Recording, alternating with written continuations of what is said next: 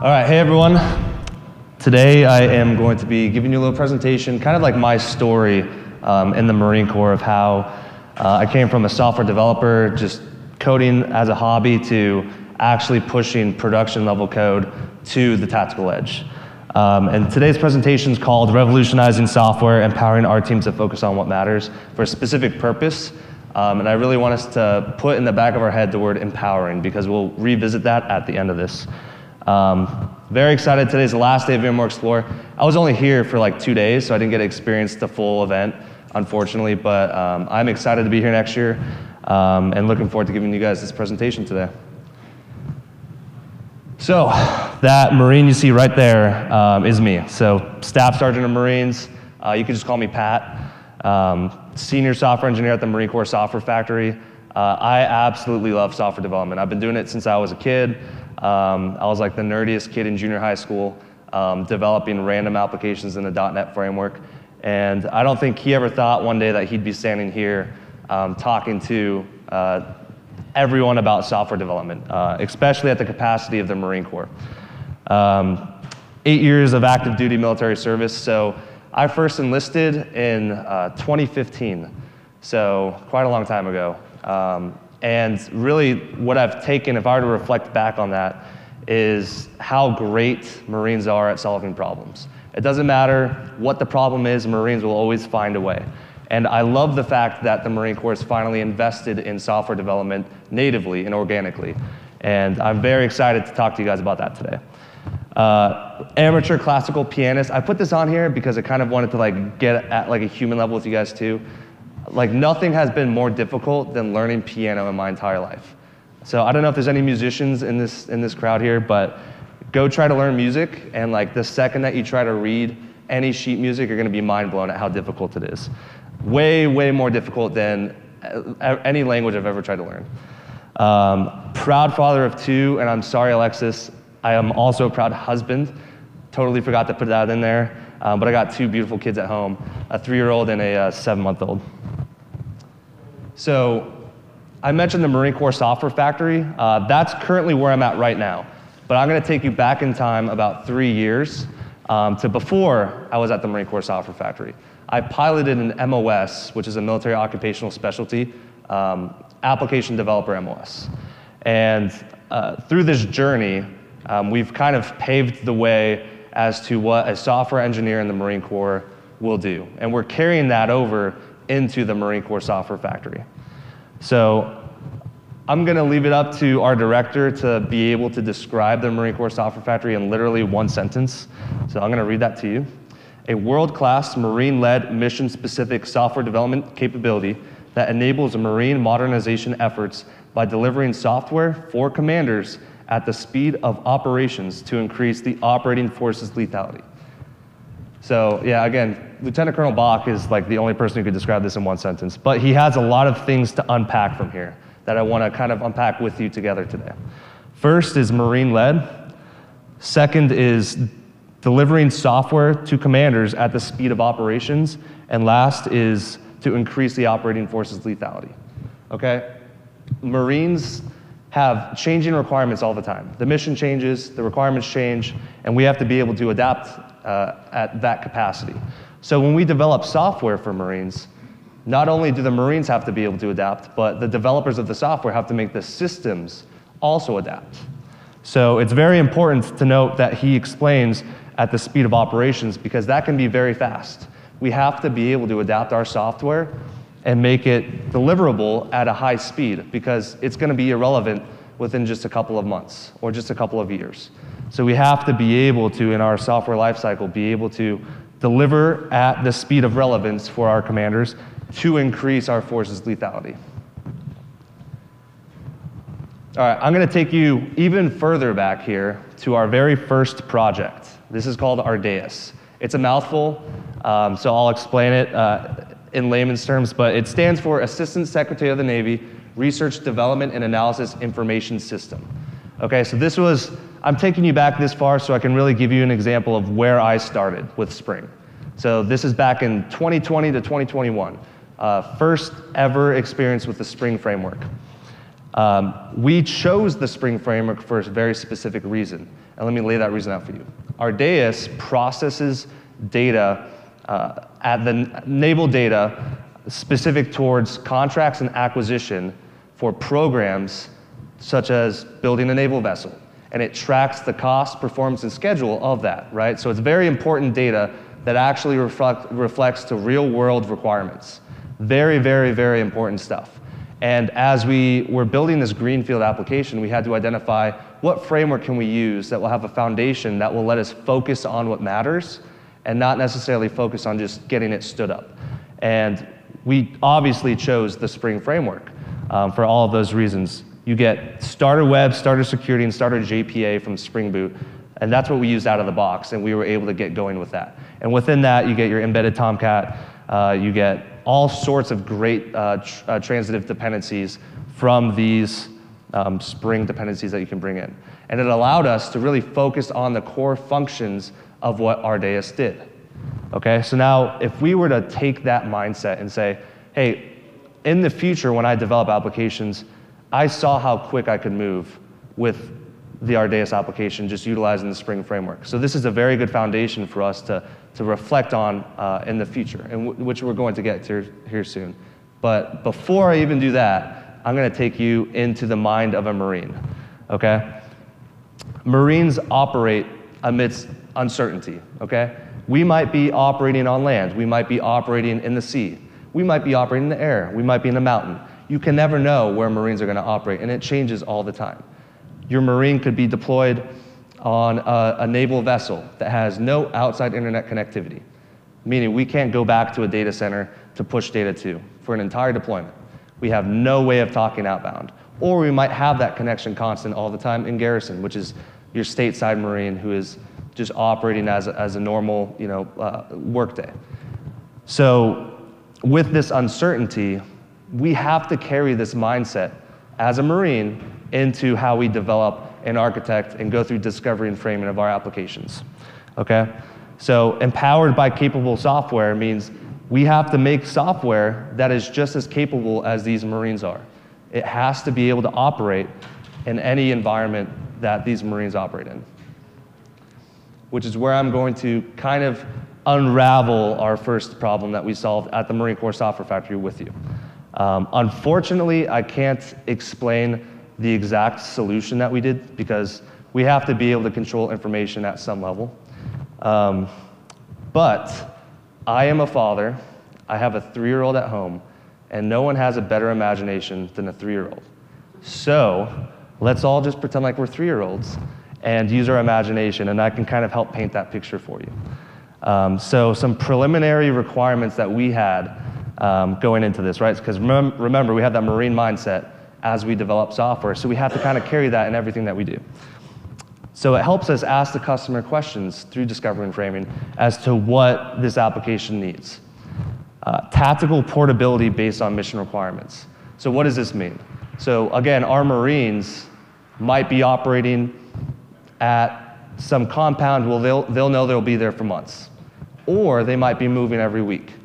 So the, our footprint turns from a light footprint to a heavy footprint, or from a heavy footprint to a light footprint.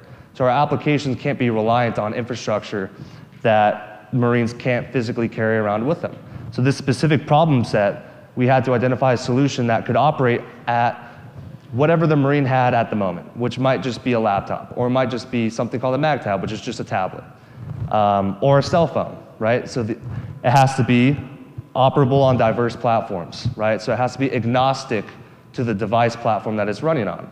So we're thinking, okay, how can we develop an application that isn't tightly coupled to a platform? So that's just something that's in the back of our head. DDIL capable, disrupted, disconnected, intermittent, low bandwidth. What does that mean? Uh, that means that we don't know that there's going to be connectivity, right? There might be connectivity, it might be low bandwidth. There might not be any connectivity. It might just be something that has to operate offline. How can we collect that data and store it offline and then persist it later on? So all of these things are built into our requirements, okay? Rapid development timeline. Like Lieutenant Colonel Bach mentioned before, the director, he said that we have to be able to deliver software at the speed of operations, okay?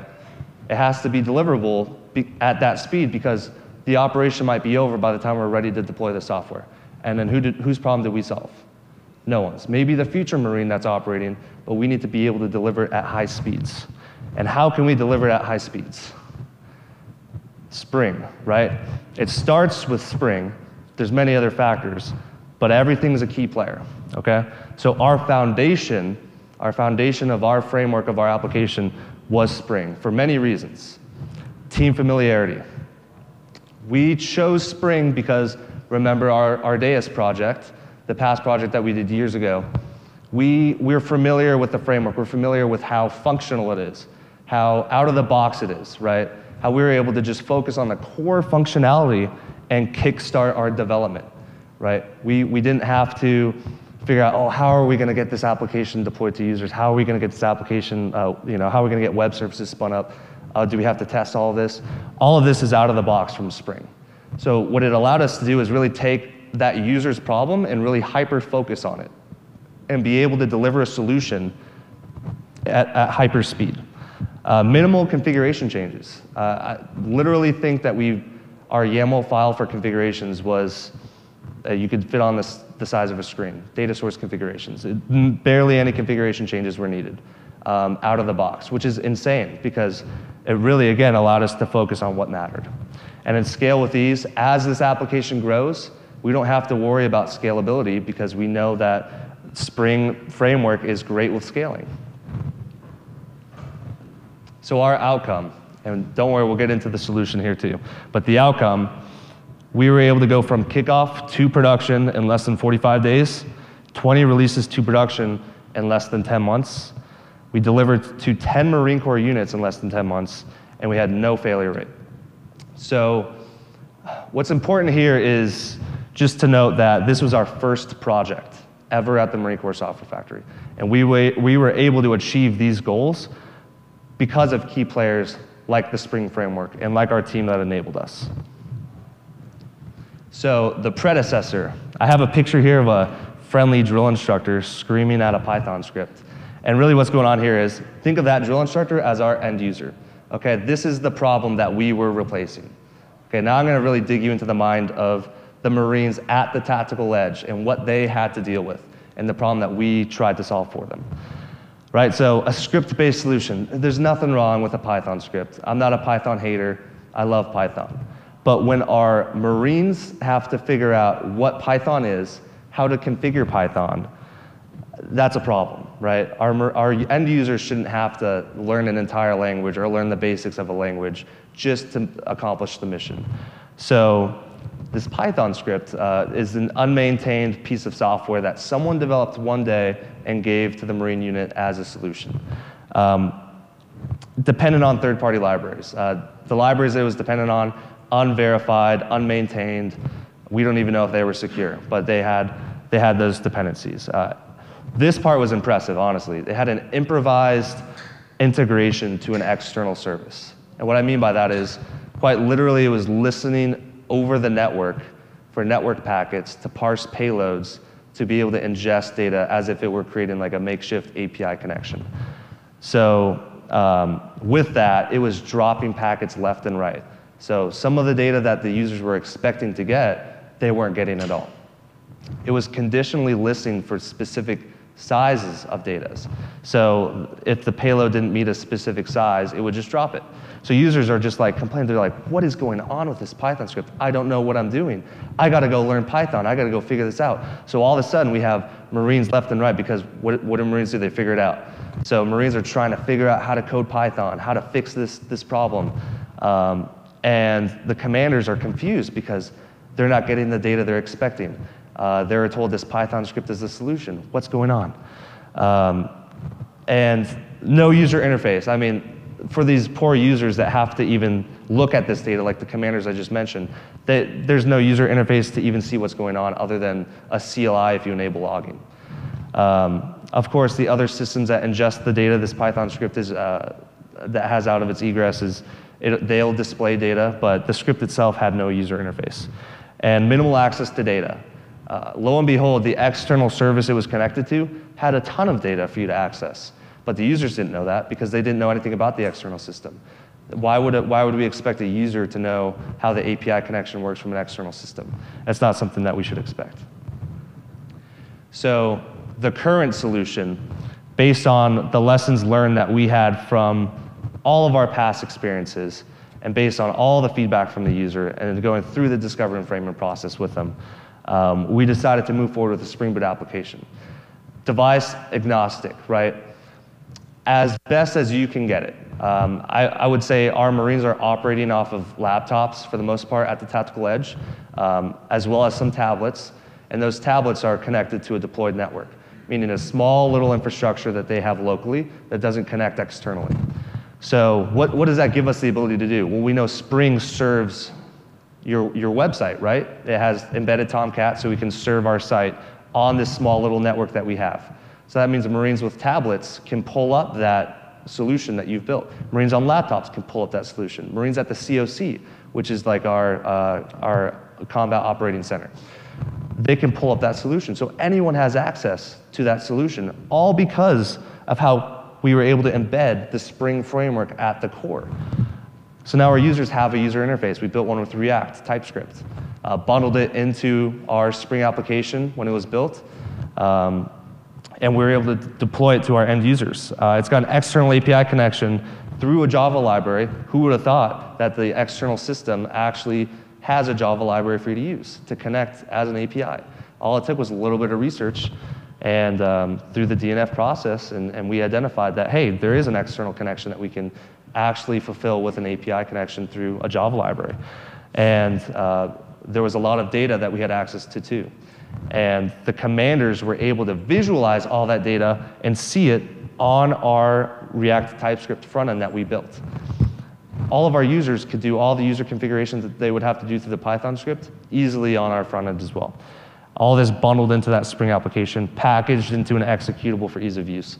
So our users, uh, again, are operating off of laptops, so typically deployed to a cloud environment. And again, this can be deployed to a cloud environment easily through configuration changes. But our end users are operating at the tactical edge, so we have to make the application portable and accessible for them. So how do we do that? We bundle it as an EXE. They can launch it without any configurations and have their Spring app hosted. So that's our solution. That was the awesome experience that we had.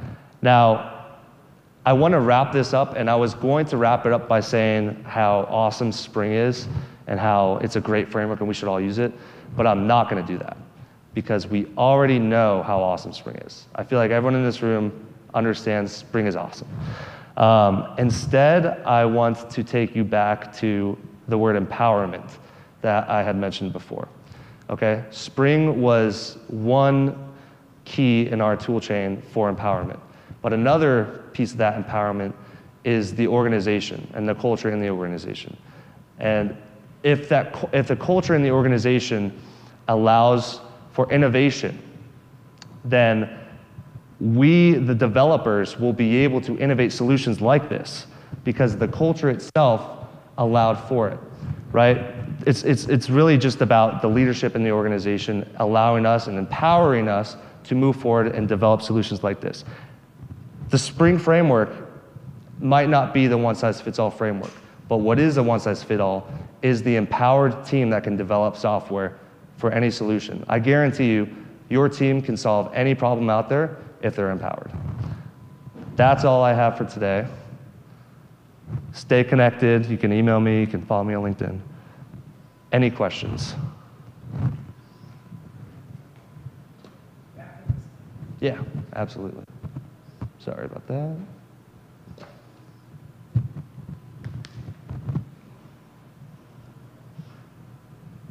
Yes.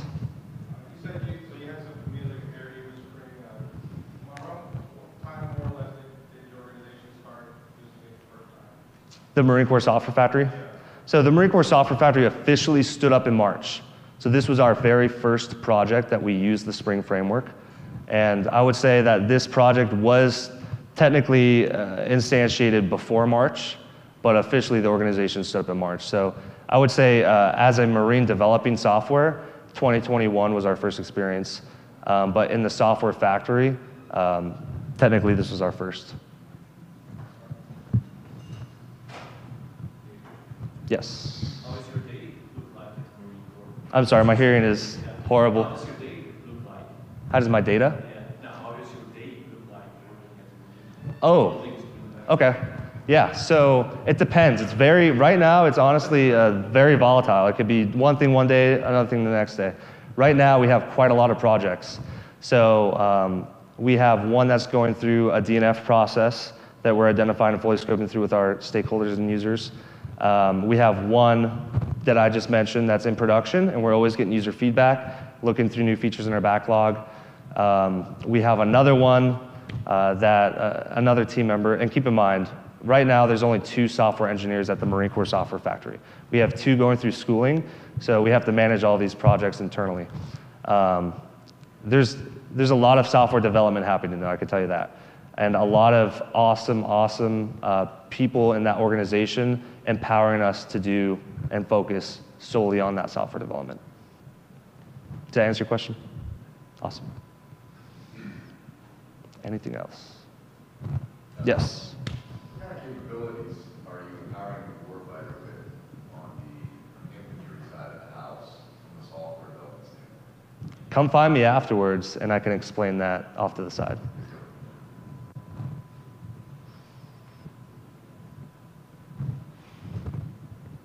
Yes. Are you looking at the other departments across DOD to kind of look at some maybe enterprise patterns to into the future? Right now, we're actually partnered with the Army Software Factory to share infrastructure um, and production platform services as well.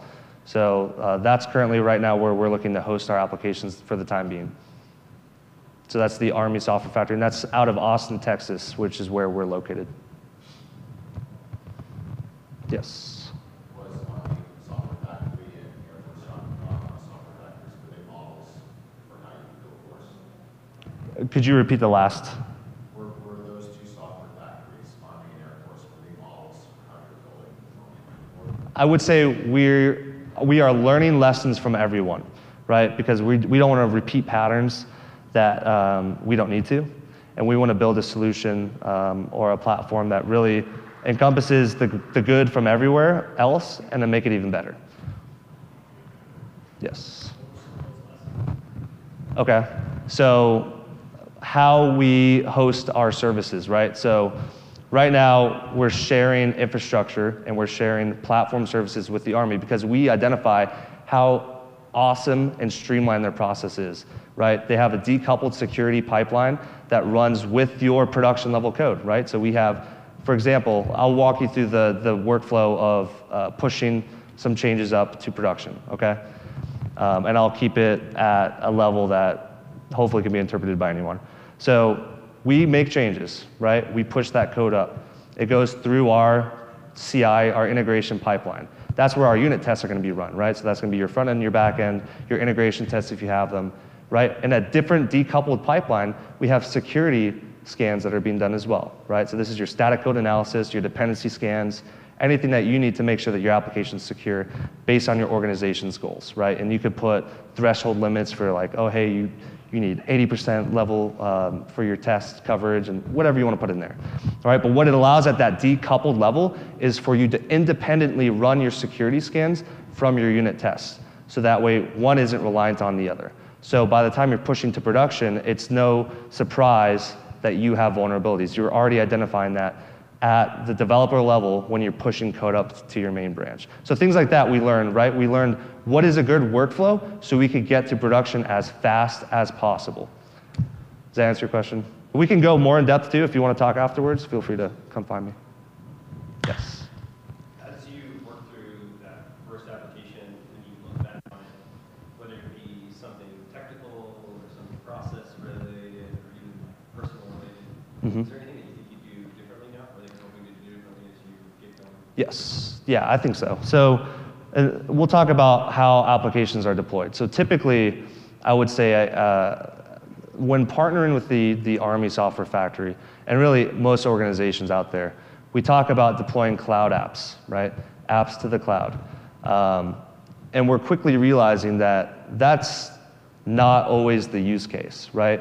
It's always the goal to have services that you can provide at any commercial network and people can access that, that service. But um, we've noticed that Marines often operate in different environments, uncertain environments. So, how do we efficiently and effectively deploy software to those Marines that can't use cloud services, that need to run things natively off the computer or the platform itself that, that they're operating off of?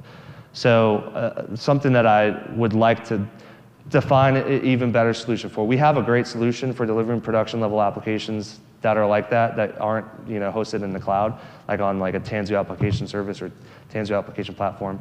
Um, but we, it would be nice to figure out a repeatable way that's even better.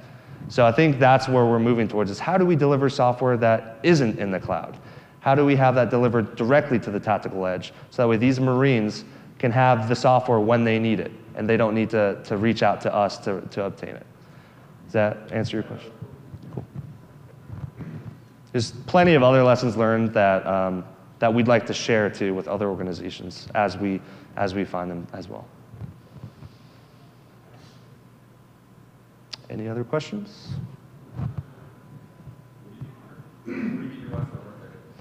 What did I get my wife for her birthday? I actually flew in all of her. So today's my wife's birthday, for those of you that don't know. Um, unfortunately, yeah. I didn't get a plan when I spoke, I just got a plan that I speak. So, um, but I flew in all of her friends last night to our house. So we live in Texas. So I flew them all in. They surprised her last night. I think I said, like, my coworker has a uniform item that he needs to pick up. Can you have it ready for him? And she, like, woke up at 11 p.m. and, like, opened the door, and all her friends were there. So, yeah, that's what I did. Yes. Yes. Yep, we're all physically in Austin, Texas. And that was um, actually very recently that we all, um, what we call PCS, which is just permanently changing our duty station down to Austin, Texas. So um, that was within the past two months.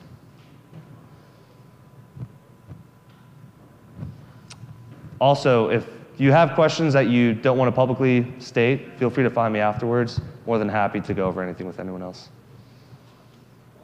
Last call for questions. All right. Thank you.